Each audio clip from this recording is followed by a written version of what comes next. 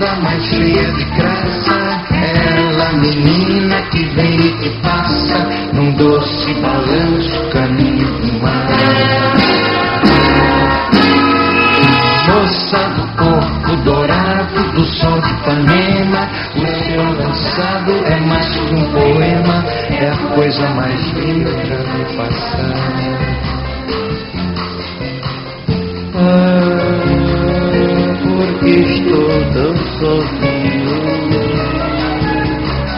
Ah, porque tudo é tão triste.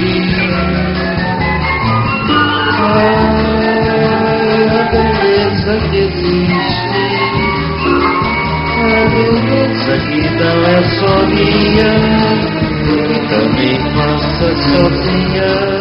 Arte ela soberba e quando ela passa, o mundo inteirinho se enche de graça e fica mais lindo por causa do amor.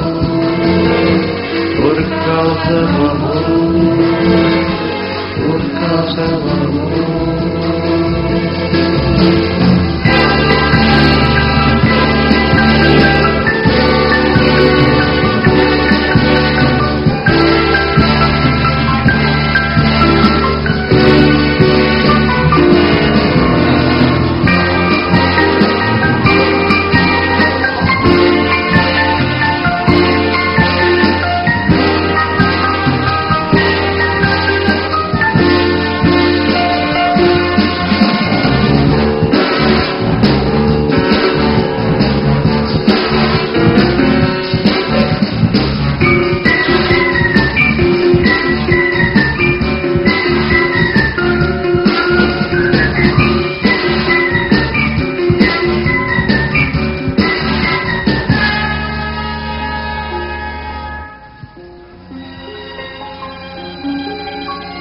Ela se chamava, lembra, Tonzinho, Luiz Eneida, né? Sempre que tive ela em São Paulo, agora tá linda ainda. Linda. ainda Naquela época, lembra quando ela passava pelo Veloso e a gente fazia pequenos cumprimentos muito lindos pra ela, né? Vestida, vestida normalista, lembra? Escola E ela olhava e sorria pra gente, né, querido? E tudo por causa do amor, né? Por causa do amor. Por causa do amor. Eu estou fazendo um filme chamado Garota de Ipanema, o Bar da Bossa.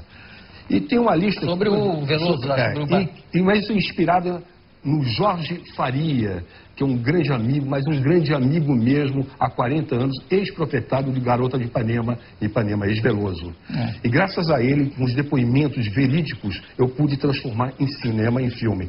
E você imagina quantos amigos teus, meus, que estão incorporados nesse filme? Nossa.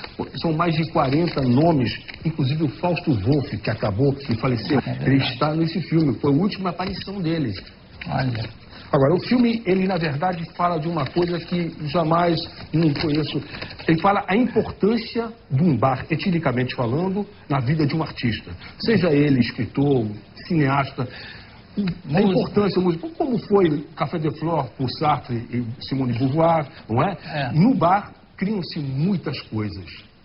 Olha só, a lista de conhecidos nossos ali que estão no filme. E aí vai ter, Nossa. vou convidar o Chico Buarque de Holanda. São pessoas que conviviam e fomentavam o, o Garoto de Ipanema. É. E ali acontecia, porque na verdade ali é que começou a guerrilha cultural contra a ditadura. Era lá que, na verdade, é o quartel-general cultural, podemos chamar assim.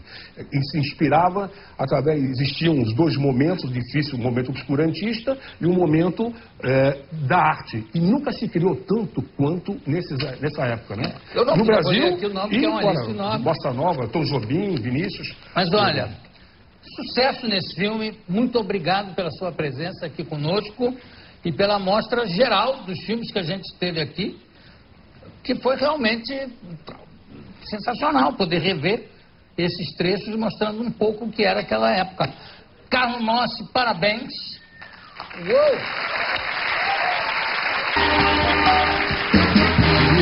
Daqui a pouco a gente... Eu acho que a maior, melhor definição do Veloso é de Milor Fernandes, nascido no Meia, mas ipanemense honorário, e a frase do Milor é absolutamente lapidar. É assim, numa das esquinas mais badaladas de Ipanema, juntaram-se o prudente e o imprudente de Moraes. é uma maravilha. Porque estou tão sozinho.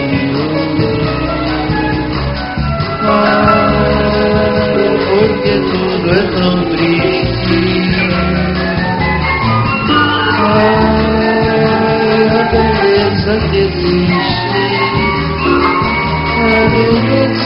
não é só minha e também nossa sozinha.